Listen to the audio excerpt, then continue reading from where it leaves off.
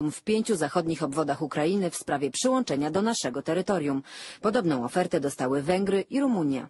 Nie ma informacji o jakie dokładnie regiony chciałaby się jeszcze upomnieć Rosja, ale w granicach obecnej Ukrainy miałaby pozostać tylko jej środkowa